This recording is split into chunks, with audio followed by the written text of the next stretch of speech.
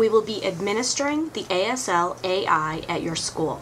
ASL AI refers to the American Sign Language Assessment Instrument. We at Boston University have been developing the ASL AI as a means of testing the ASL competencies of deaf children all over the country. This battery of tests will serve as a standardized measurement of language skills, similar to written English tests that are typically administered to school children.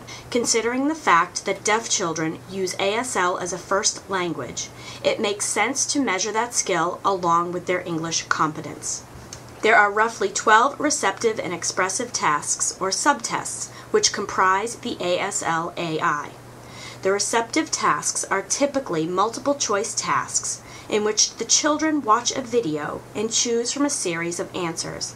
The expressive tasks elicit a signed response from the child which is captured on a computer video camera. The overall goal of this instrument is to measure the child's competence in his or her L1. This will allow us to develop nationwide norms of ASL. This will give us an understanding of the normal trajectory of language acquisition for deaf children. We appreciate your help. Please address any questions to your supervisor or the administrative team, or feel free to contact us at the address below. Thank you.